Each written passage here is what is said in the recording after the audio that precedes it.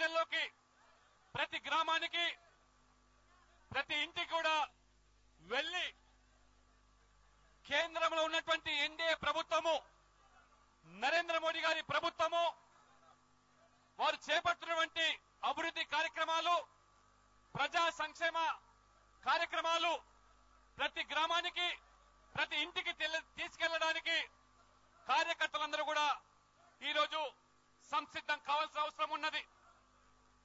రాష్ట్ర ప్రభుత్వము ఈ మూడు మాసాల్లో తీసుకున్నటువంటి ప్రజా వ్యతిరేక నిర్ణయాలను ప్రజల్లోకి తీసుకెళ్ళడమే కాకుండా పాజిటివ్గా మన ఓటు ఏదైతే ఈరోజు నరేంద్ర మోడీ గారి పట్ల ప్రజలు మన ఎన్నికల్లో స్పందించి వారి ప్రభుత్వ పనితీరు పట్ల ఆకర్షితులు అవుతున్నారో దాన్ని కూడా మనం తీసుకెళ్ళాల్సిన అవసరం ఉంది.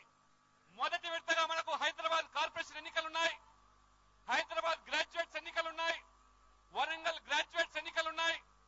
అదే రకంగా మనకు మెదక్ ఉప ఎన్నిక ఉన్నది ఇవన్నీ దృష్టిలో పెట్టుకొని జాతీయ అధ్యక్షులు తెలంగాణలో కూడా పార్టీని పటిష్టం చేయడానికి కేంద్రం ద్వారా తెలంగాణ అభివృద్ధికి నరేంద్ర మోడీ ప్రభుత్వం కట్టుబడి ఉందనే విషయాన్ని ఈ పార్టీకే స్పష్టం చేయడం జరిగింది. రాష్ట్ర విభజన సందర్భంలో తెలంగాణ పట్ల కేంద్ర ప్రభుత్వం తీసుకోవాల్సిన చర్యలకు ఈ రోజు కూడా ప్రధానమంత్రి హోదాలో నరేంద్ర మోడీ అన్ని విధాలుగా కూడా ఈ అభివృద్ధికి వారు కట్టుబడి ఉన్నారని మరొకసారి స్పష్టం చేస్తూ ఒకవైపు నరేంద్ర మోడీ గారి నాయకత్వం పట్ల ఆకర్షితులై బీజేపీని తెలంగాణలో బలపరచాలని టీఆర్ఎస్కు ప్రత్యామ్నాయంగా ధీటుగా బీజేపీని నిర్మాణం చేయాలనే ఒక సంకల్పంతో రాష్ట్ర పార్టీ పోతున్నటువంటి దిశలో వారి యొక్క శ్రీ అమిత్ షా గారి యొక్క ఉత్తరప్రదేశ్లో జాతీయ స్థాయిలో ఉన్న పార్లమెంట్ ఎన్నికల్లో వారు నిర్వహించిన పాత్ర మొత్తం ఈ రోజు దేశవ్యాప్తంగా కూడా ప్రజలు గుర్తించారు అందుకనే తెలంగాణ కార్యకర్తల ప్రజల్లో కూడా అపారమైనటువంటి విశ్వాసము నమ్మకము అమిత్ షా గారి నాయకత్వం పట్ల ఉంది కాబట్టి ఈ రోజు కూడా అనేక మంది ప్రముఖులు మన పార్టీలో చేరడానికి ముందుకొచ్చారు అమిత్ షా గారి నాయకత్వాన్ని బలపరుస్తూ ప్రధానమంత్రి నరేంద్ర మోడీ గారి నాయకత్వాన్ని బలపరుస్తూ తెలంగాణలోను ఈ రాష్ట్రంలో కూడా బీజేపీని పటిష్టం చేస్తామని బలోపేతం చేస్తామని ముందుకొచ్చినటువంటి ప్రముఖులను మొట్టమొదటిగా కిషన్ ముందు ఆ? చూడు చేయమంటు.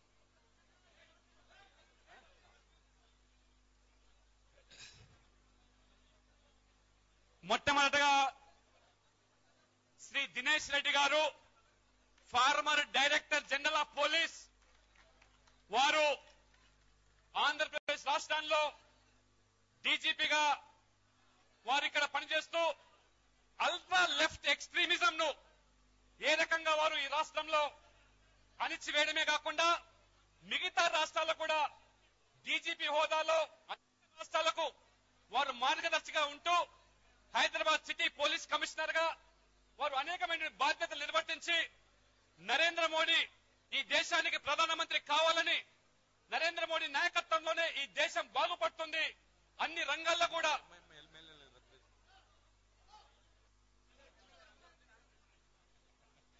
అన్ని రంగాల్లో అభివృద్ధి చెందాలని ఆసక్తి అభిరుచి వారికి ఉండడము మీకు తెలుసు మతోన్మాద మజ్లిస్ పార్టీకి సింహ స్వప్నంగా హైదరాబాద్ పోలీస్ కమిషనర్గా ఏ రకంగా వ్యవహరించారో వారు మొట్టమొదటిగా దినేష్ రెడ్డి గారిని వేదిక మీదకి రావాల్సిందిగా మన జాతీయ అధ్యక్షులు మరి అమిత్ షా గారి నేతృత్వంలో వారిని పార్టీలో వారిని చేరడానికి ముందుకొచ్చి వారిని స్వాగతిస్తూ ఆహ్వానిస్తా ఉన్నాం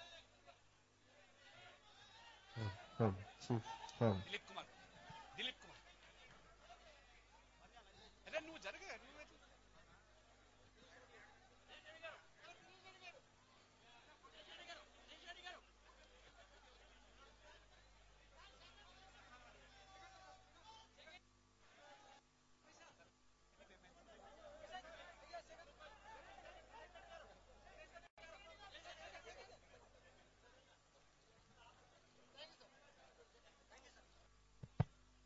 మరొక ప్రముఖుల్ని పరిచయం చేస్తాను చేరికలు చాలా ఉన్నాయి. దయచేసి ఓపిక పట్టండి. అందరి పరిచయం చేస్తాను. మరొక ప్రముఖులు.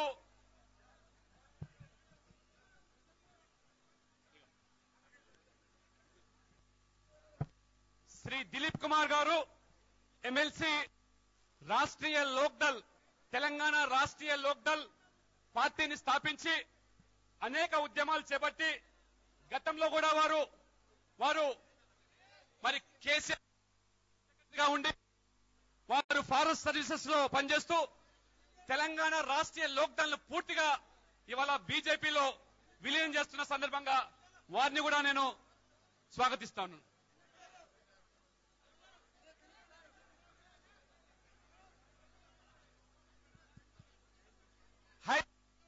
నగరపాలక సంస్థ కార్పొరేటర్లు కాంగ్రెస్ పార్టీ నుంచి దిడ్డి రాంబాబు గారు Congress floor leader in Hyderabad municipal corporation he is also willing to join in BJP to strengthen the BJP in Telangana and strengthen the hands of Prime Minister Narendra Modi.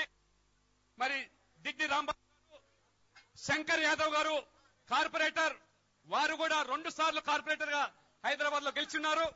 వారు కూడా ఈరోజు బీజేపీలో చేరడానికి సుముఖత వ్యక్తం చేశారు.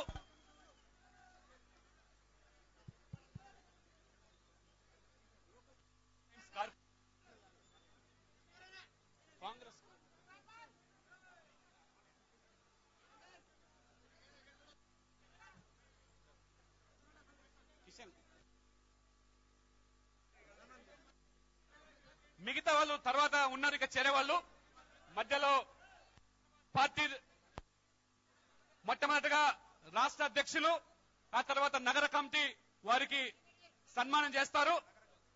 జాతీయ అధ్యక్షులు శ్రీ అమిత్ షా గారికి వెంకటరెడ్డి గారు నగరాధ్యక్షులు వారి కమిటీ సభ్యులందరూ కూడా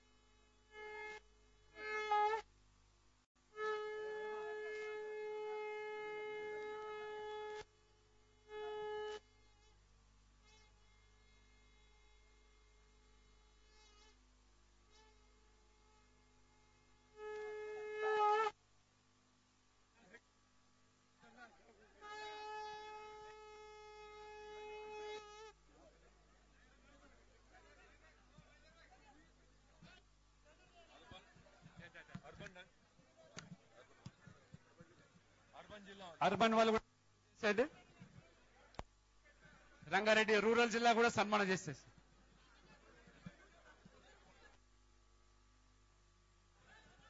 స్టేజ్ పక్కన అందరూ దయచేసి వెళ్ళి కూర్చోండి.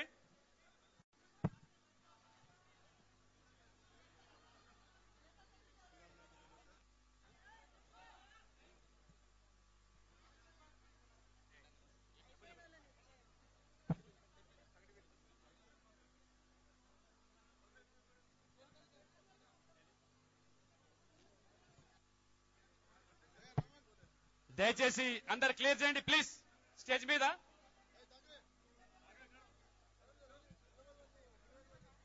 రమణ్ గౌడ్ అందరు పంపించేసేయండి.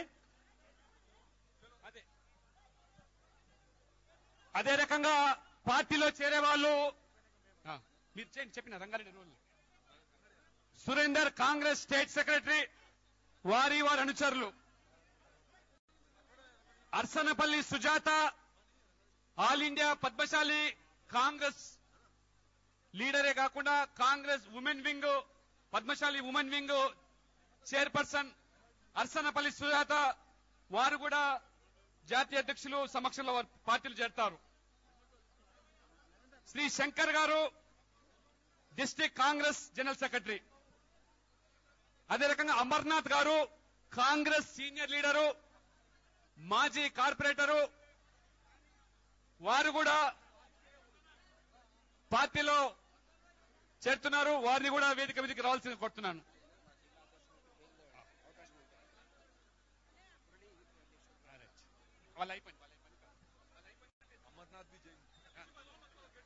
అమర్నాథ్ అమర్నాథ్. గారిని కూడా మాజీ కార్పొరేటర్ వేదిక మీదకి రావాల్సింది కోరుతున్నాను.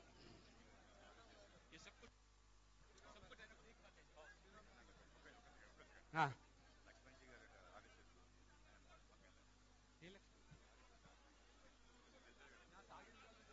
G Laxman ex PRP secretary.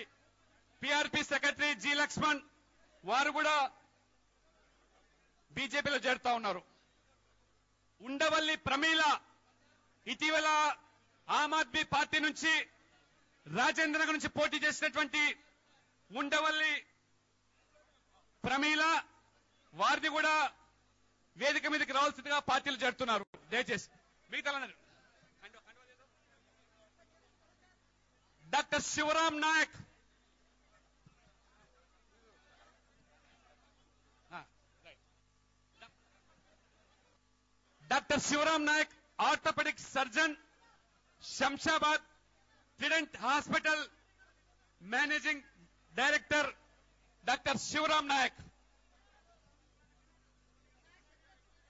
RLD జిల్లా అధ్యక్షులు అలీ సాగర్ హైదరాబాద్ ప్రెసిడెంట్ వారు పరిచయం చేస్తున్నాను వారు చేస్తున్నారు Ramesh Khammam president Rashtriya Lok Dal Ravindra Rangareddy RLD TRLD president Ravi trade union wing TRLD president Praveen student wing president TRLD Rishabh Jain. వారు కూడా మరి Murali youth wing president Telangana Lok Dal వారు కూడా Undavalli Pramila. Sheikh Shahjahan LIC agents association president AP state Muslim Noor Basha association vice president.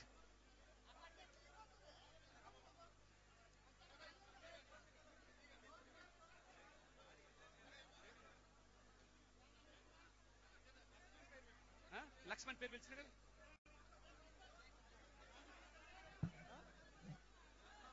Kurakula Mallesh ST tribal leader greater Hyderabad వారు కూడా పార్టీలో చేరాల్సి కొడుతున్నారు మిగతా వాళ్ళని ఆగండి please. Surender state PCC secretary Surender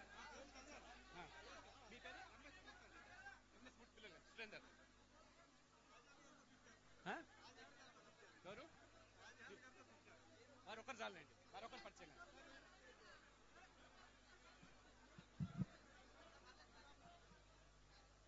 Kurakula Mallesh మిగతా లప్పు అయిపోయింది లక్ష్మణ్ అయిపోయింది కదా కూర్చో. వర్మజీ ఉదర్ సే బిజా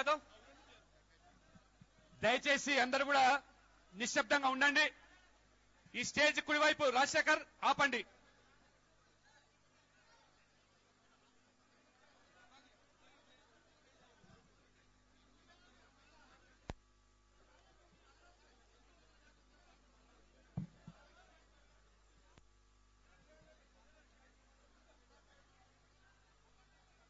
మిత్రులారా ఇంతకుముందు చెప్పినట్టుగా రాబో ఏ ఎన్నిక జరిగినా బీజేపీ గెలవాలనే సంకల్పంతో ఇవాళ భారతీయ జనతా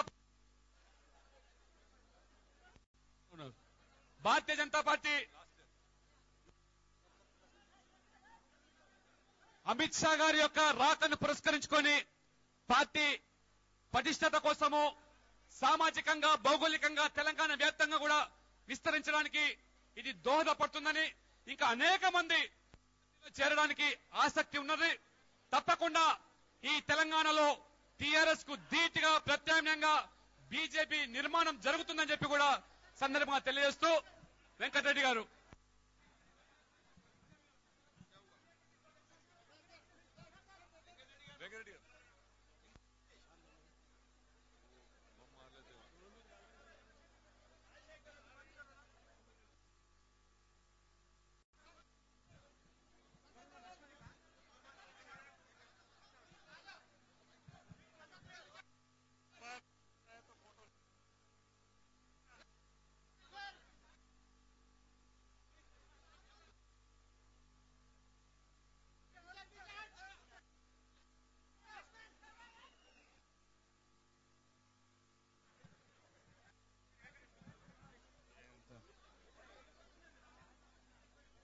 పెద్దలు జాతీయ అధ్యక్షులు శ్రీ అమిత్ షా గారు జాతీయ ప్రధాన కార్యదర్శులు గౌరవనీయులు శ్రీ మురళీధర్ రావు గారు శ్రీ రామ్ మాధవ్ గారు పార్లమెంట్ సభ్యులు గౌరవనీయులు పెద్దలు శ్రీ బండారు దత్తాత్రేయ గారు రాష్ట్ర అధ్యక్షులు శాసనసభ్యులు గౌరవనీయులు శ్రీ కిషన్ రెడ్డి గారు శాసనసభాపక్ష ఉపనాయ నాయకులు శ్రీ డాక్టర్ లక్ష్మణ్ గారు శాసనసభ్యులు ఎన్వీఎస్ఎస్ ప్రభాకర్ గారు చింతల రామచంద్రారెడ్డి గారు రాజాసింగ్ గారు పెద్దలు శ్రీ వి రామారావు గారు గౌరవనీయులు శ్రీ ఇంద్రసేనారెడ్డి గారు నాగం జనార్దన్ రెడ్డి గారు విద్యాసాగర్ రావు గారు వేదిక మీదున్న రాష్ట్ర పదాధికారులు నగర పదాధికారులు రంగారెడ్డి అర్బన్ పదాధికారులు ఈ యొక్క సమావేశంలో పాల్గొంటున్నటువంటి సోదర సోదరిమల్లారా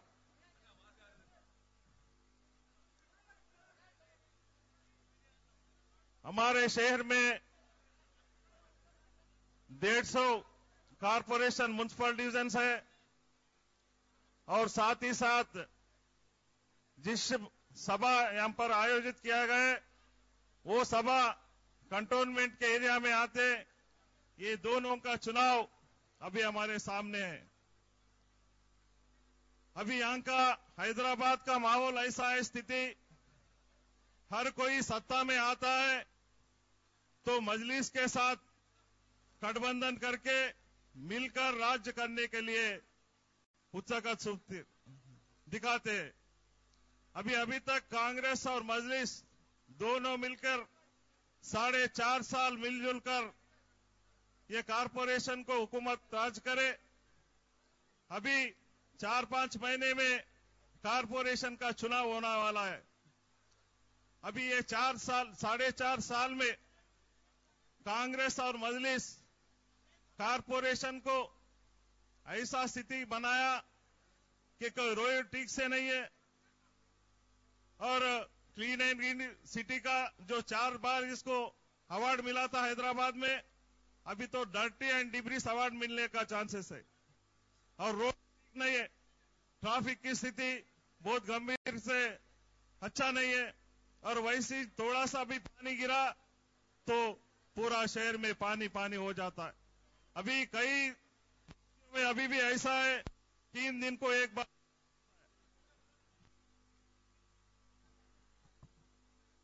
तीन दिन हेलो तीन दिन को एक बार पानी मिलता है। अभी जो टीआरएस का हुकूमत, संपूर्ण बहुमत मिलना मिलने के बावजूद भी मजलिस के साथ गठबंधन करके आगे वाले इलेक्शन के चुनाव में दोनों मिलकर लड़ने के लिए कोशिश कर रही है। अभी ऐसी स्थिति है, हमारे पास पुराना शहर में कानून की व्यवस्था रहती नहीं, किसी को जानता भी नहीं। वही नया शहर में नौ बजे के बाद कोई भी रोड पे घूम नहीं तो पुलिसों का लाठी खाना पड़ता है। ऐसे हुकूमत सरकार में जो भी आए, वो पुराना शहर की तरफ़ देखते रहते। अभी जो अभी अभी हमारा पुराना भूतपूर्व डीजीपी दिनेश रेड्डी मिले हैं, उनके जो पीरियड में अकबरुद्दीन को अरेस्ट कर कर पुराना शहर को थोड़ा संभालने का कोशिश किया। ऐसे कोई एक ऑफिसर कानून के व्यवस्था में जरा ठीक से काम किया, वो लोगों को फ़ौरन तबादला करने के लिए सोचते रहते। ऐसी स्थिति आज का शहर का हमारा स्थिति है। अभी भी टीआरएस कोई भी काम लेने से पहले मजलिस के विधायकों से, सांसदों से बात करके जो निर्णय लेने जा रहा है। अभी अभी पुराना शहर में जो भी इलीगल कंस्ट्रक्शन को पूरा शहर में डिसमेंटल कर रहे, मगर पुराना शहर को छोड़ दिए। पुराना शहर में इतने इलीगल है, जो विधायकों का भी कई घरे हैं फ़ंक्शन हॉल्स है कॉलेजेस है, उनका जो दारू सलाम में, मजलिस के ऑफ़िस में ही तीन इंजीनियरिंग कॉलेज और एक मेडिकल कॉलेज इलीगल बनाया सो है। मगर इसके ऊपर ध्यान नहीं देते। अभी आने वाले दिनों में टीआरएस मजलिस के गठबंधन से लड़ने के लिए प्रयास कर रही। इसके बारे में आप हमारे को राय देना चाहे, मार्गदर्शन करना चाहिए अभी मैं आपसे एक ही निवेदन करता हूँ। तो शहर में, आगे वाले चुनाव में हम कैसे इसको सामना करें? तो अभी जो देश भर में आपके जो, यूपी में आपका जो चमत्कार दिखा है, यहाँ पर भी, हैदराबाद में भी आपका चमत्कार दिखाकर बराबर मेयर का सीटें हासिल करने के लिए आप हमारे को मौका दीजिए। और और एक मैं बात आपके सामने कहना चाहता हूँ। परसों 15 अगस्त का जो गवर्नमेंट के ऑफिशियल होता है, अभी गोलकोंडा किले के ऊपर करे। जो आज़ाद मिलता है तो 15 अगस्त को उन्नीस में, मगर हैदराबाद को 1948 17 सितंबर को आज़ादी मिली। अभी यहाँ पर अद्वानी जी यहाँ पर ये प्रारंभ किया हमारे सागर जी के नेतृत्व में। हर उन्नीस सत्रह सितंबर को यहाँ पर झंडा लहराया जाता है। अभी जो इनो ऑफिशियली जो 15 अगस्त वहाँ पर गोलकोंडा किला के ऊपर बना है, अभी आने वाले अगले महीने 17 सितंबर को भी इनो पंद्रह झंडा लहराने के लिए गोलकोंडा जो अभी किया, वो चुनकर वहाँ पर झंडा ले रहना चाहिए, ऐसा हमारा डिमांड आपके सामने रख रहा हूँ। आप भी इस बारे में थोड़ा कुछ बोलना है। अभी इसके साथ जो निज़ाम का ज़िले थे, कर्नाटका, महाराष्ट्र में ऑफिशियली सेवनटीन सितंबर बनाया जा रहा है। यहाँ पर भी बनाना बोल के हमारा एक डिमांड है। ये आने वाले चुनाव में आपके मार्गदर्शन हमारे को होना चाहिए। वही हिसाब से आप हमारे, हम अपेक्षा आपसे हम कर रहे हैं। बस मैं इतना ही बात आपके सामने रखता हूँ। अभी हमारा पार्लियामेंट, सिकंदराबाद पार्लियामेंट की उम्मीदवार, सांसद श्री भंडार दत्तात्रेय से मैं अनुरोध करता हूँ, कुछ प्रस्ताव हमारे सामने रखे।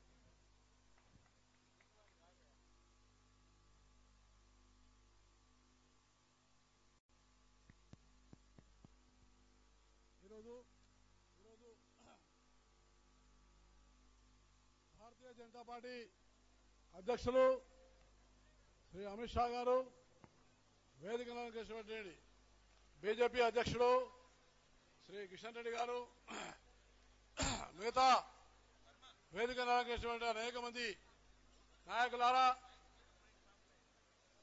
సోదర సోదరి మల్లారా ఇంత పెద్ద ఎత్తున మీరు అమిత్ షా గారికి స్వాగతం పలికి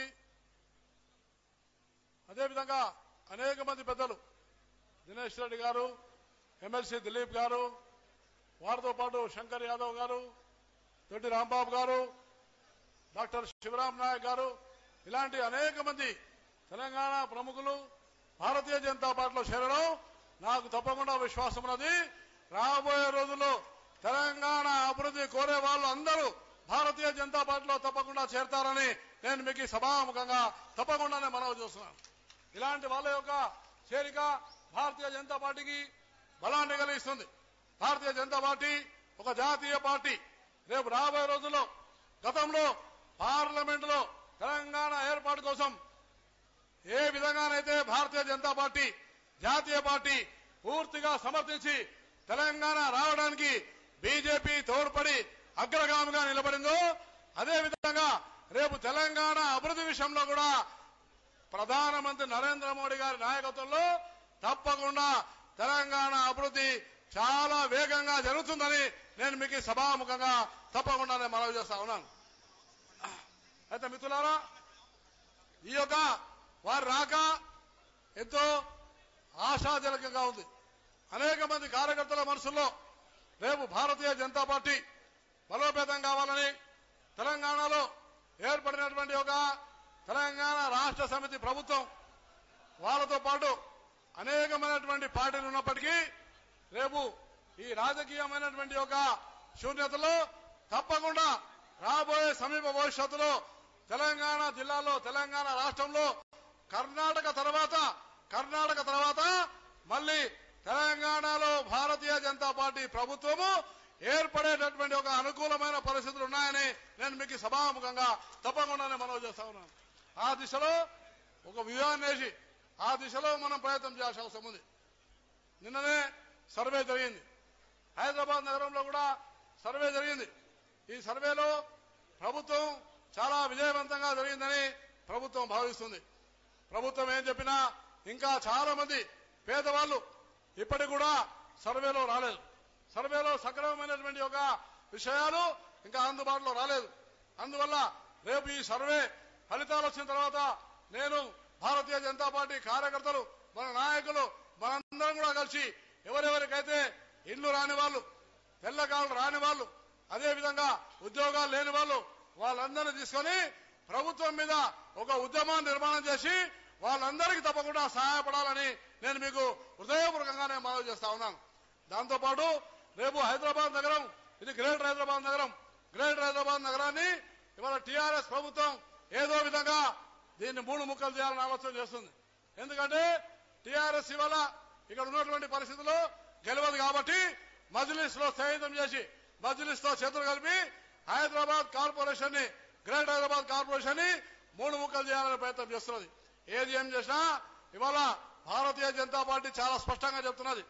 కేంద్ర ప్రభుత్వం నుంచి అనేకమైన నిధులు రావాలన్నా మెట్రోపాలిటన్ సిటీ చాలా ముఖ్యమైనది.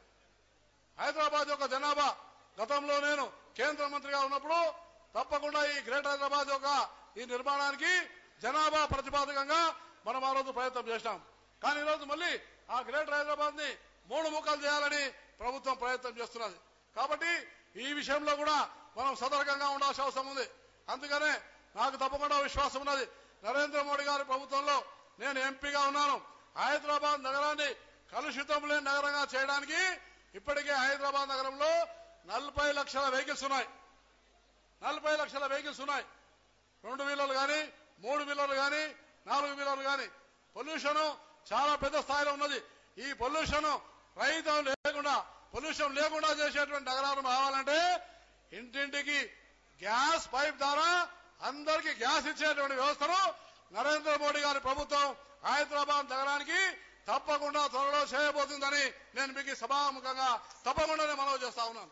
ఇలాంటి అనేకమైనటువంటి అభివృద్ధి కార్యక్రమాలు అభివృద్ధి కార్యక్రమాలు నగరాన్ని వైభవంగా గతంలో అంతర్జాతీయ స్థాయిలో ఏ విధంగా హైదరాబాద్ నగరం ఉందో అదే విధంగా ఈ హైదరాబాద్ నగరాన్ని అందరిని కూడా కలుపుకొని తీర్చిదిద్దే ప్రయత్నంలో భారతీయ జనతా పార్టీ ముందుగా ఉంటుందని కార్యకర్తలు కూడా నేను తప్పకుండా మీ అందరి మీద విశ్వాసంతో ఉన్నాను. రేపు ఏ పరిస్థితిలో అయినా హైదరాబాద్ నగరంలో మళ్ళీ భారతీయ జనతా పార్టీ జెండా మున్సిపల్ కార్పొరేషన్ మీద తప్పకుండా ఎగిరేసేటటువంటి వాతావరణాన్ని మనం నిర్మాణం చేయాలని నేను మీకు హృదయపూర్వకంగా మనవి చేస్తూ నాకు ఇచ్చిన అవకాశానికి హృదయపూర్వకమైనటువంటి ధన్యవాదాలు తెలియజేస్తూ సెలవు తీసుకుంటాను. భారత్ మాతాకి!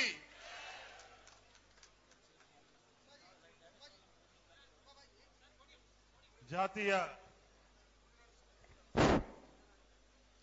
జాతీయ ప్రధాన కార్యదర్శులు గౌరవనీయులు శ్రీ మురళీధరరావు గారిని మాట్లాడవలసిందిగా కోరుతాం.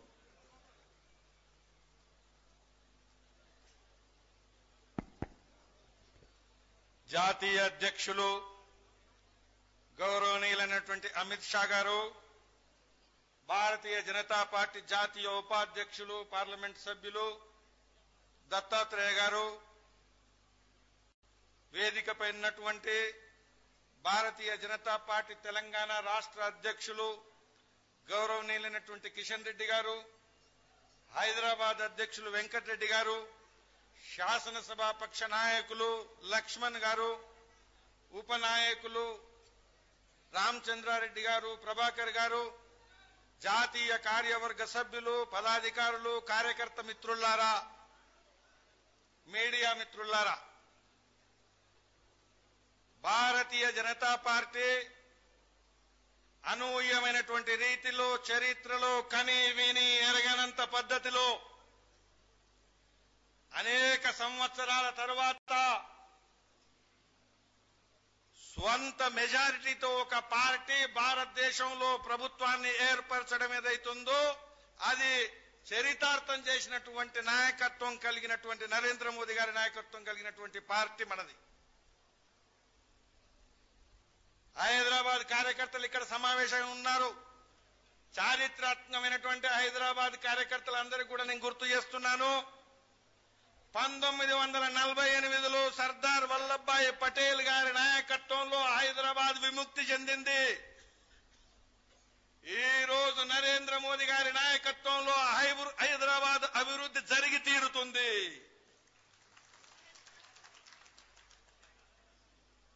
స్వాతంత్రం లభించింది హైదరాబాద్కు పంతొమ్మిది వందల నలభై ఎనిమిదిలో సర్దార్ వల్లభాయ్ పటేల్ గారి నాయకత్వంలో అయితే నిజమైనటువంటి అభివృద్ధి హైదరాబాద్కు నరేంద్ర మోదీ గారి నాయకత్వంలో ఖచ్చితంగా జరిగి తీరుతుందని మనందరం కూడా సంకల్పం తీసుకోవాల్సిన అవసరం ఉంది. మనందరికి కూడా తెలుసు భారతీయ జనతా పార్టీ కులాలకు అతీతంగా మతాల మతాలకు అతీతంగా భారతదేశంలో ఉండేటువంటి ప్రజలంతా భారతీయులే. నూట ఇరవై ఐదు కోట్ల మంది భారతీయులు ఒక్క అడుగు ముందుకేస్తే నూట ఇరవై ఐదు కోట్ల అడుగులు దేశం ముందుకెళ్తుందని నరేంద్ర మోదీ గారు పదిహేనవ ఆగస్టు ఎర్రకోట ప్రాచీరం నుంచి బహిరంగంగా చెప్పడం జరిగింది. కాబట్టి హైదరాబాద్లో భారతీయ జనతా పార్టీ కులాలకు అతీతంగా మతాలకు అతీతంగా నిజాం రజాకారు రాజ్యంలో జరిగినటువంటి దురహంకారానికి అతీతంగా మానవ హక్కులను రక్షించే నిజమైనటువంటి పార్టీగా ఖచ్చితంగా హైదరాబాద్లో మనం అభివృద్ధికి కంకణం కట్టుకుంటాం. భారతీయ జనతా పార్టీ ఈ రోజు ఒక వాగ్దానం తెలంగాణ ప్రజల ముందు చేస్తున్నది. తెలంగాణలో ఏదైతే ప్రభుత్వం ఏర్పడిందో ఆ ప్రభుత్వం నరేంద్ర మోదీ గారి నాయకత్వంలో నడుస్తున్నటువంటి ప్రభుత్వాన్ని ఒక వ్యతిరేక ప్రభుత్వంగా చిత్రీకరించే ప్రయత్నం చేస్తే నిజాం రాజ్యాన్ని పొగిడేటువంటి ప్రయత్నం చేస్తే మానవ హక్కులను కాలరాల్చినటువంటి రజాకార్ల ప్రభుత్వం కనుక ఏమాత్రం పునాదులు తిరిగి వేస్తామని ప్రయత్నం చేస్తే భారతీయ జనతా పార్టీ కార్యకర్తలు హైదరాబాద్ను రక్షించుకుంటారు. హైదరాబాద్లో ఉండేటువంటి అన్ని వర్గాల ప్రజలను రక్షించి తీరుతారు. హైదరాబాద్ భారతదేశ సంస్కృతికి ప్రతీక.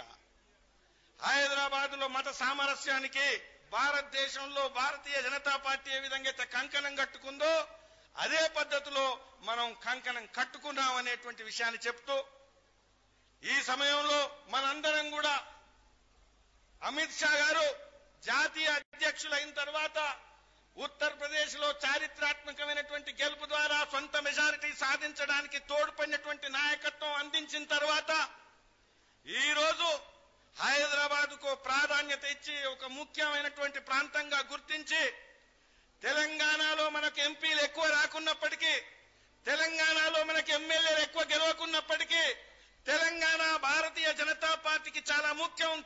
తెలంగాణ రూపొందించినటువంటి పార్టీ పార్లమెంట్లో ఉద్యమ బాటలో భారతీయ జనతా పార్టీ అని చాటి చెప్పడం కోసం అమిత్ షా గారు మన మధ్యకు అధ్యక్షులైనటువంటి కొద్ది రోజుల్లోనే ఇక్కడికి రావడం జరిగింది. కాబట్టి నరేంద్ర మోదీ గారి ప్రభుత్వంలో తెలంగాణకు ప్రాధాన్యత ఉంటుంది. భారతీయ జనతా పార్టీ భవిష్యత్తు ప్రణాళికలో దక్షిణాదిలో పార్టీ విస్తరించేటువంటి ప్రణాళిక ఏదైతుందో అందులో తెలంగాణ ప్రాధాన్యత ఉంటుంది అని చాటి చెప్పడం కోసం అమిత్ షా గారు ఈ రోజు మన మధ్యకు వచ్చారు మనమందరం కూడా నరేంద్ర మోదీ గారి నాయకత్వంలో అమిత్ షా గారి నాయకత్వంలో భారతీయ జనతా పార్టీ పునాదుల్లో తెలంగాణలో మనం పెంచుదాం విస్తరింపజేస్తాం. ప్రతి బూత్లో మోదీ గారు అన్నట్టు వంద నుంచి రెండు వందల ప్రైమ్ ప్రైమరీ మెంబర్షిప్ మనం పెంచుదాం అనేటువంటి వాగ్దానం ఈ సభలో చేసి రాబోయేటువంటి రోజుల్లో ఎంఐఎం రాజకీయాలకు కానీ ఎంఐఎం తో తోడయ్యేటువంటి రాజకీయాలకు కానీ ఎంఐఎం తో కలిసేటువంటి ఏ నాయకత్వాన్ని అన్నా హైదరాబాద్ ప్రజలు బుద్ధి చెప్పేలా చేసేటువంటి పద్ధతిలో మనం పనిచేస్తామని ఈ సంకల్పాన్ని ఇక్కడ తీసుకోవాలా? కాబట్టి ఇక్కడ నేను ఒక నినాదం ఇస్తాను. అమిత్ షా గారి మనం ఉపన్యాసాన్ని వినబోతున్నాం. కాబట్టి సంక్షిప్తంగా మాట్లాడుతూ మీరందరూ కూడా నాతో పాటు నినాదం ఇవ్వాలని కోరుతూ బోలో Bharatiya Janata party! Bharatiya Janata party! Bharatiya Janata party! Bharat మాతా కీ భారత్ మాతా की రాష్ట్ర అధ్యక్షులు శాసనసభ్యులు గౌరవనీయులు శ్రీ కిషన్ రెడ్డి గారిని మాట్లాడవలసిందిగా కోరుతాం.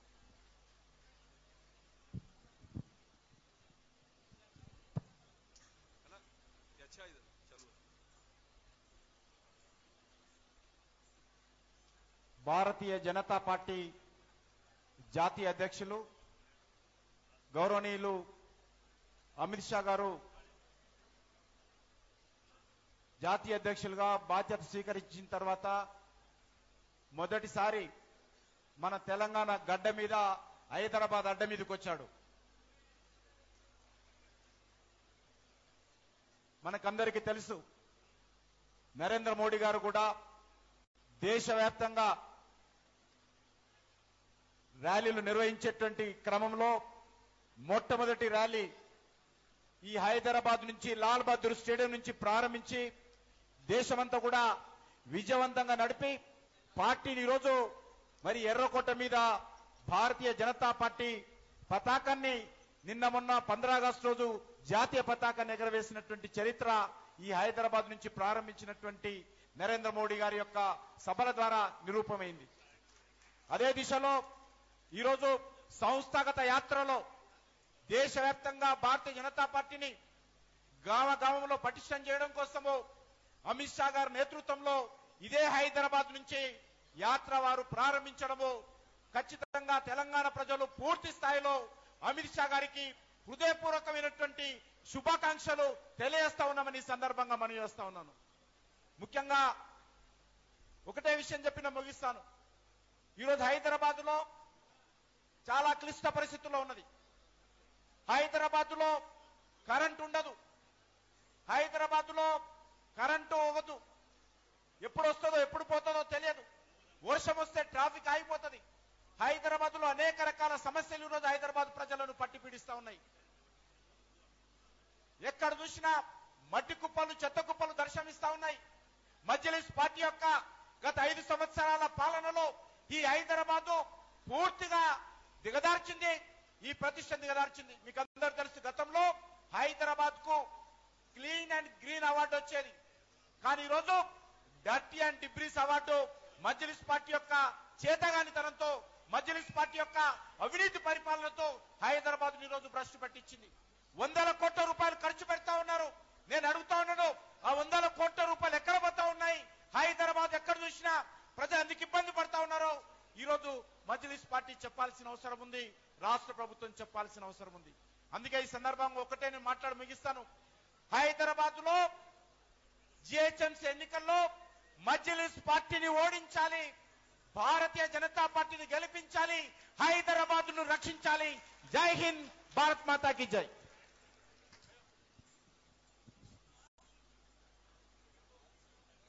हमारे प्रिय नेता राष्ट्रीय अध्यक्ष श्री अमित शाह जी से मैं अनुरोध करता हूँ अपना मार्गदर्शन दे।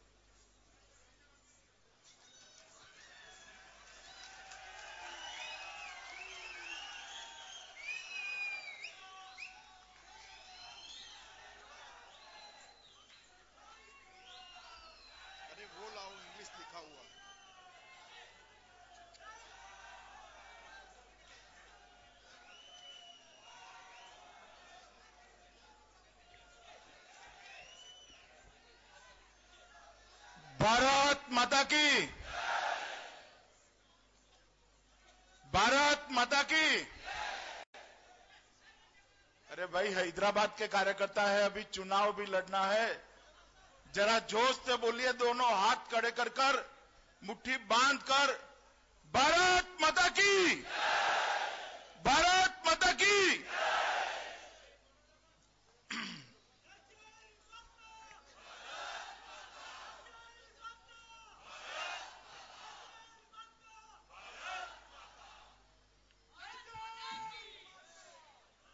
मंच पर उपस्थित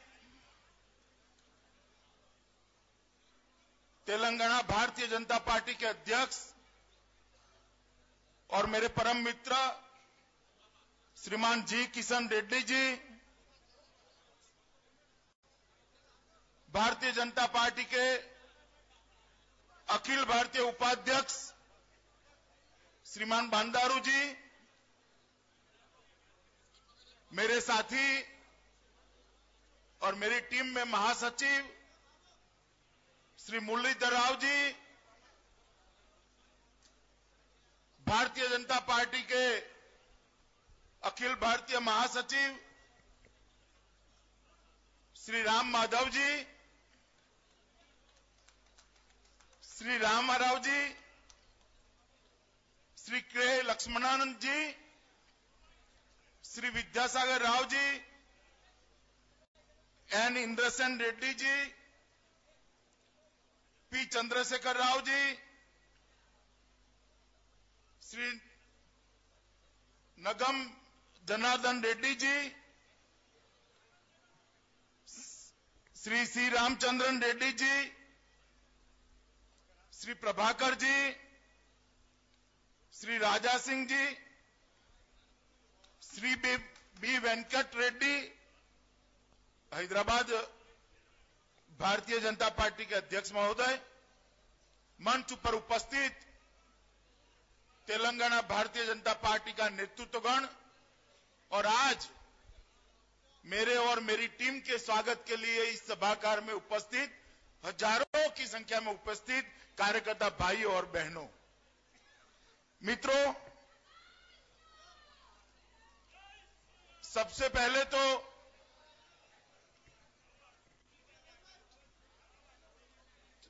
भाई, थोड़ा नीचे बैठ जाइए आप लोग प्लीज़ सबसे पहले तो मैं आप सभी के प्रति मेरी टीम और मेरी ओर से आभार व्यक्त करता हूँ कि आपने इस गर्म जोशी से इस तेलंगाना राज्य में हम सबका स्वागत किया। मित्रों, सालों से तेलंगाना की रचना के लिए यहाँ संघर्ष चल रहा था। भारतीय जनता पार्टी सबसे पहली और अकेली पार्टी थी, राष्ट्रीय पार्टी थी, जिसने तेलंगाना की रचना के लिए सबसे पहला रिजोल्यूशन अठानवे के अंदर कर कर तेलंगाना की रचना की नींव डाली थी। तब से भारतीय जनता पार्टी मानती है कि ये तेलंगाना की रचना होनी चाहिए, ये तेलंगाना के लोगों का न्यायपूर्ण अधिकार है। देश में कई बार आज़ादी के बाद राज्यों के विभाजन हुए हैं। जब एनडीए की सरकार थी, मैं बहुत पुरानी ये बातें तो याद करना नहीं चाहता आप सबको, मगर जब एनडीए की सरकार थी, तब भी बहुत पुरानी बात नहीं है। अटल जी जब बड़ा प्रधान थे, तब झारखंड, छत्तीसगढ़ और उत्तराखंड की रचना हुई थी। जिस दिन झारखंड, छत्तीसगढ़ और उत्तराखंड की रचना हुई, उस दिन झारखंड की रचना के समय बिहार में भी मिठाइयाँ बटी थी, झारखंड में भी मिठाइयाँ बटी थी। उत्तराखंड और उत्तर प्रदेश, दोनों जगह फटाके जले थे। और छत्तीसगढ़ और मध्य प्रदेश, दोनों की जनता खुश थी कि एक नए राज्य की रचना हुई। मगर कांग्रेस पार्टी की जो हर बात में राजनीति करने की जो उनकी परंपरा है और राज्य राज्य के बीच में, जनता जनता के बीच में फूट डालने की जो उनकी नीति है, इसके कारण कम नसीबी से इस राज्य का विभाजन इतनी अच्छी तरह से नहीं हुआ जितनी अच्छी तरह से होना चाहिए। दोनों राज्यों के विभाजन में ही एक वैमनस्य की नींव डल गई। और भारतीय जनता पार्टी मानती है कि आंध्र और तेलंगाना दोनों भाई है, दोनों ने एक साथ मिलकर भारत माता के विकास के लिए काम करना चाहिए। मैं इस मंच पर से अभिनंदन देना चाहता हूँ दोनों राज्यों के मुख्यमंत्रियों को कि अभी इन्होंने इनिशिएटिव लिया है कि मिलकर काम करना और मिलकर आगे बढ़ना। और मैं संदेश देना चाहता हूँ भारतीय जनता पार्टी के सभी कार्यकर्ताओं को कि भले तेलंगाना में हमारी सरकार ना हो, मगर सरकार ऐसा इनिशिएटिव लेकर आगे बढ़ती है तो भारतीय जनता पार्टी ये इनिशिएटिव का स्वागत करेगी और उसको साथ और सहयोग देगी। मित्रों आज मैं जब यहाँ आया हूँ तो हमारे दिवंगत राष्ट्रीय अध्यक्ष बांगारू लक्ष्मण जी और भाई नरेंद्र, टाइगर नरेंद्र को याद करे बगैर नहीं रह सकता। और उसके साथ ही डेढ़ सौ से ज़्यादा भारतीय जनता पार्टी के कार्यकर्ता अलग अलग घर्षण में शहीद हुए। कहीं माओइस्टी को सामने कहीं हथियारदारी सेपरेटिस्टों के सामने। उन सबको भी आज मैं हृदय से श्रद्धांजलि देता हूँ और उन सबको याद करता हूँ, मित्रों। मित्रों, जो 1600 से 1600 से ज़्यादा लोग तेलंगाना राज्य की रचना के लिए शहीद हुए हैं, उनको भी मैं आज भारतीय जनता पार्टी की ओर से विनम्र श्रद्धांजलि देना गुजरात और हैदराबाद का पुराना रिश्ता है। हैदराबाद को स्वतंत्र कराने में एक लोखंडी पुरुष गुजरात से आकर यहाँ के निज़ाम को दबाकर हैदराबाद को स्वतंत्र कराया देश सरदार पटेल को भूल नहीं सकता और विशेषकर हैदराबाद, क्योंकि अगर सरदार न होते तो साढ़े छह सौ के करीब रियासतें भारतीय संघ का भाग न बनती और भारतीय संघ की रचना न होती। मैं निश्चित रूप से मानता हूँ कि अगर सरदार पटेल के अलावे उस जमाने में किसी और के पास हैदराबाद का मसला होता तो हैदराबाद स्वतंत्र होने में काफ़ी देर लग जाती। 17 सितंबर को तेलंगाना विमोचना दिन होता है। और मैं आज तेलंगाना के सभी भारतीय जनता पार्टी के कार्यकर्ता और यहाँ बैठे पूरी टीम को ये कहना चाहता हूँ कि भारतीय जनता पार्टी 17 सितंबर को तेलंगाना विमोचना दिन के माध्यम से पूरे गाँव गाँव तक कस्बे कस्बे जाकर जन जागृति लाए और जो सरदार पटेल ने काम शुरू किया था और नरेंद्र भाई जिसको आगे बढ़ा रहे हैं, उसको लोगों तक पहुँचाने का काम भारतीय जनता पार्टी करेगी सत्रह सितंबर का दिन, भारतीय जनता पार्टी तेलंगाना विमोचना दिन के साथ साथ एक संकल्प दिन के लिए मनाएगी। तेलंगाना के विकास के लिए संकल्प तेलंगाना को देश में सर्वोच्च राज्य बनाने के लिए एक संकल्प के दिन में भारतीय जनता पार्टी इसको मनाएगी। मित्रों, कल भी कार्यक्रम है। मैं कोई राजनीतिक टिप्पणियाँ करना नहीं चाहता। मगर मैं इतना निश्चित कहना चाहता हूँ कि इस बार भारतीय जनता पार्टी की सरकार, विशेषकर पश्चिम, मध्य और उत्तर के राज्यों के आधार पर बनी है। ठीक है ना मेरी बात? ठीक है? मगर अगली बार भारतीय जनता पार्टी की सरकार दक्षिण और पूर्व के राज्यों के आधार पर बनने जा रही है।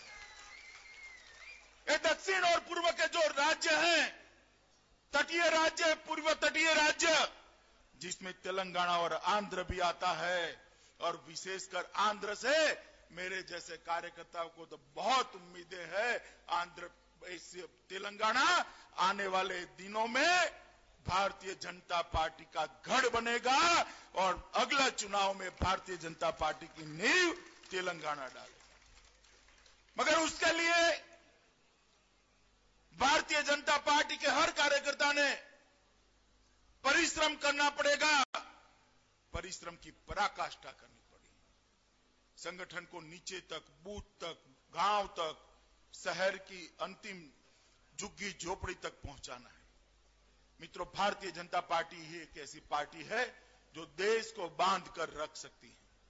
देश की एकात्मता के लिए अगर आज की राजनीति में सबसे प्रतिबद्ध कोई एक पार्टी है तो वो भारतीय जनता पार्टी है। इसके अलावे देश को कोई बाँध कर नहीं रख सकता।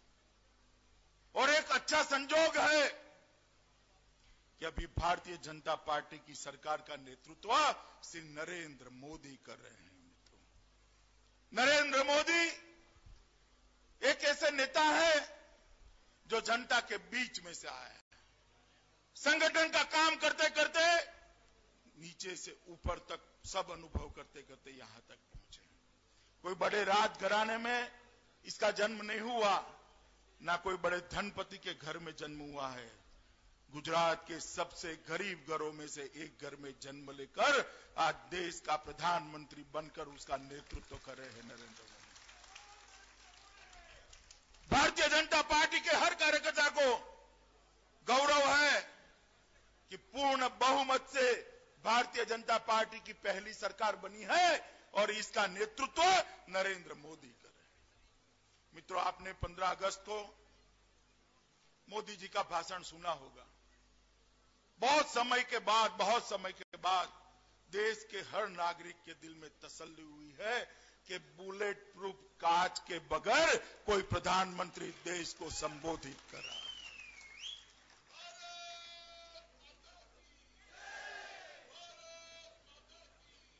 उनकी बात में हर चीज़ की स्पष्टता है और सरकार की नीतियों में जनता की समस्या के निवारण का माइक्रो प्लानिंग है, डिटेल आयोजन है। आने वाले दिनों में मोदी जी ने कई बातें हमारे सामने रखी है। हर नागरिक को एक सेविंग्स अकाउंट देने की, मुहिम की शुरुआत भारतीय जनता पार्टी ने करी। मोदी जी ने हर सांसद, हर विधायक को एक आदर्श ग्राम बनाकर, एक आदर्श ग्राम का मॉडल अपनी विधानसभा क्षेत्र में, लोकसभा क्षेत्र में रखने की शुरुआत की है। और मैं मानता हूँ कि बहुत दिनों के बाद कोई ऐसा व्यक्ति आया है जिसने गाँव की चिंता को, गाँव की समस्याओं को, गाँव के विकास को लाल किले की प्राचीर से जन प्रतिनिधियों के लिए आदेश के रूप में रखा है। मित्रों, कांग्रेस की सरकार को इस देश ने देखा है। दस साल तक देखा है। हर जगह, हर मोर्चे पर, हर क्षेत्र में ये यूपीए की कांग्रेस के नेतृत्व वाली सरकार विफल रही है। चाहे सीमाओं की रक्षा की बात हो, आंतरिक सलामती की बात हो, डॉलर और रुपये के बीच के भाव की बात हो, महँगाई को काबू में करने की बात हो, महिलाओं के सुरक्षा की बात हो, या संवैधानिक संस्थाओं के सम्मान की बात हो, हर मोर्चे पर ये सरकार विफल रही थी। और उनकी विफलता के बाद जब भारतीय जनता पार्टी ने श्री नरेंद्र मोदी को अपने नेता के रूप में प्रस्तुत किया, भले ही कुछ क्षेत्र से दक्षिण से हमें सीटें नहीं मिली, मगर वोट तो दक्षिण से भी मिले हैं। पूरे देश की जनता ने श्री नरेंद्र मोदी को अपने नेता के रूप में चुना है। मैं परसों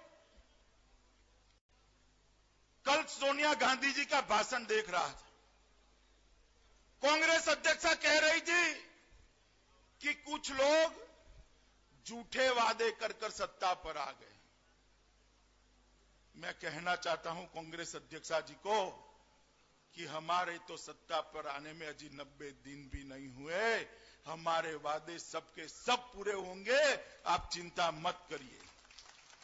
हमने जो जनता के प्रति वादे किए हैं वो सब समयोचित रीत से पूरे होंगे और दोबारा मैंडेट पे जाने के पहले पूरा चुनावी घोषणा पत्र के काम समाप्त कर कर हम चुनाव में जाएँगे। मगर मैं पूछना चाहता हूँ सोनिया जी आपको। आप तो सौ दिन में महँगाई को काबू कर कर सत्ता पर आई थी। दस साल तक आपकी पार्टी की सत्ता रही। महँगाई काबू करने की बात क्या हो गई? कांग्रेस अपने गिरेबान में झाँक कर देखे। जिस तरह से कांग्रेस ने दस साल तक शासन चलाया है मित्रों, इससे कनिष्ठ शासन आज़ादी के बाद एक भी सरकार ने नहीं दिया है। भ्रष्टाचार की भरमार कर कर रख दी। एक के बाद एक के बाद एक के बाद एक घोटाले। और घोटालों की मैं बात करने जाऊँ तो समय ही नहीं बचेगा। सात दिन की भागवत सप्ताह अगर बिठा दूँ तो भी घोटाले की बात खत्म न हो। इतने घोटाले किए थे। सोनिया जी, नसीहत हमें मत दीजिए। नसीहत आपके जो बचे कुछ साथी अभी भी सत्ता पर है, उन राज्य सरकारों को दीजिए कि जनता के लिए काम करिए अपना घर भरने के लिए काम मत करिए, वरना जनता वहीं से भी उखाड़ कर फेंक देगी। मित्रों, नरेंद्र मोदी की सरकार ने अनेक नई शुरुआत करी मैं ज़्यादा डिटेल तो कल बात करूँगा, मगर एक बात क्योंकि मैं हैदराबाद में हूँ, निश्चित करना चाहता हूँ। सालों से भारत और पाकिस्तान के बीच में अलग अलग स्तर की कूटनीतिक वार्ता होती थी। सचिव स्तर की वार्ता भी कई बार हुई। मगर जब जब भूतकाल में बात हुई, हर बार सचिव स्तर की वार्ता की पहले पाकिस्तान के हाई कमिश्नर ने अलगाववादियों से बात करी। कश्मीर के सेपरेटिस्ट को बढ़ावा देने का काम पाकिस्तान ने हर बार किया। और इस बार भी मोदी जी ने जब शपथ विधि करी, शपथ लिया, तब सभी सार्क देशों को बुलाया था, पाकिस्तान को भी बुलाया था और अपना दोस्ती का हाथ पाकिस्तान के सामने हमने फैलाया। और उस वक्त तय हुआ कि भारत और पाक के बीच में फिर से सचिव स्तर की वार्ता होगी। मगर पाकिस्तान जो है, बाज नहीं आता। फिर से एक बार कश्मीर के अलगाववादियों के साथ चर्चा करने की हिमाकत पाकिस्तान के हाई कमिश्नर ने की, मगर उनको मालूम नहीं था कि इस बार हिंदुस्तान में नरेंद्र मोदी की भारतीय जनता पार्टी की सरकार है। जैसे ही दो बजे के आसपास समाचार आया कि पाकिस्तानी हाई कमिश्नर सेपरेटिस्टों से बात करने की हिम्मत कर रहे हैं, शुरुआत कर रहे हैं, कोई मीटिंग नहीं, कोई मंत्रिमंडलीय समिति की मीटिंग नहीं, कोई सचिवों से चर्चा नहीं। मोदी जी ने कह दिया, ये देश के सम्मान का सवाल है, देश की एकता और अखंडितता का सवाल है। इस पे कोई कॉम्प्रोमाइज नहीं हो सकता। अगर पाकिस्तान सेपरेटिस्ट से बात करना चाहता है तो विदेश सचिव स्तर की बात भारत पाकिस्तान से नहीं करेगा। मित्रों, मैं ये कहना चाहता हूँ कि एक नई विदेश नीति की शुरुआत इस देश की सरकार ने की है। कि हम किसी को आँख दिखाना तो नहीं चाहते हैं हम बड़े हैं, किसी को डराना नहीं चाहते हैं। मगर किसी से डर कर भी नहीं जिएँगे। अपने सम्मान और देश की सुरक्षा के साथ किसी को खिलवाड़ नहीं करने देंगे। मित्रों डब्ल्यूटीओ का मसला हो या देश के अंदर अनेक प्रकार की नई व्यवस्था की शुरुआत की बात हो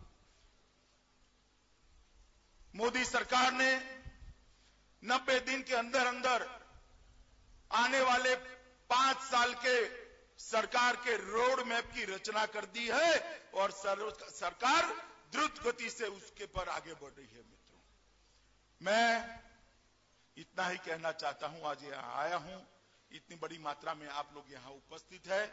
तब मैं फिर से एक बार मैंने राष्ट्रीय परिषद में भी पार्टी के कार्यकर्ताओं को संबोधित करते वक्त कहा था और आज भी कह रहा हूँ कि 2019 की जो सरकार बनेगी, वो सरकार की नींव दक्षिण और पूर्व के राज्य डालेंगे और उसका नेतृत्व तेलंगाना करेगा। ये भारतीय जनता पार्टी के कार्यकर्ता संकल्प करें।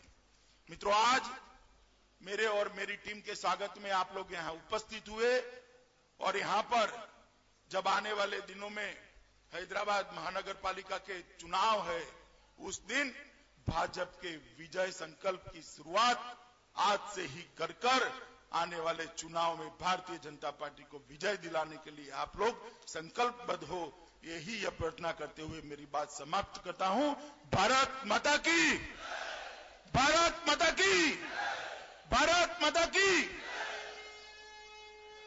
మన ఈ హాల్ ఇచ్చినటువంటి ఒక వ్యక్తి కైలాష్ చరణ్ గారు శ్రీ అమిత్ షా గారిని స్వాగతం తెలియజేస్తుంది. హాల్కా ఓనర్. కైలాష్ చరణ్ జీ బొకే ఇస్తారు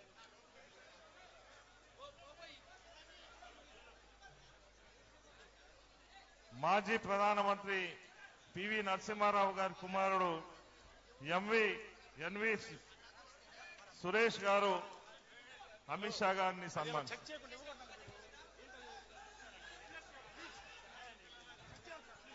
ధన్యవాదాలు. చంద్రయ్య గారు ధన్యవాదాలు చెప్తారు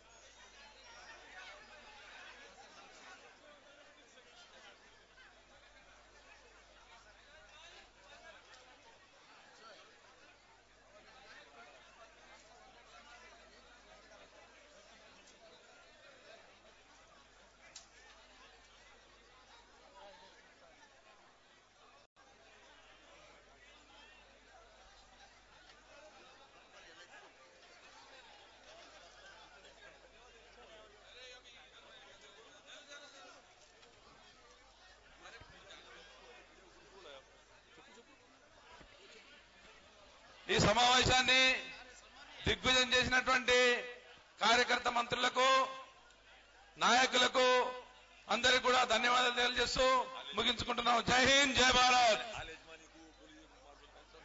आज हम आज की सभा समाप्त कर रहे हैं और इस सभा में सफल बनाने के लिए मीडिया कर्मी और हाल के यजमान पुलिस व्यवस्था सभी को हम धन्यवाद देते हैं। भारतीय जनता पार्टी नगर शाखा की तरफ़ से खासकर प्रेस को और पुलिस को और इंपीरियल गार्डन के ओनर्स को बहुत बहुत धन्यवाद भारतीय जनता पार्टी की तरफ़ से।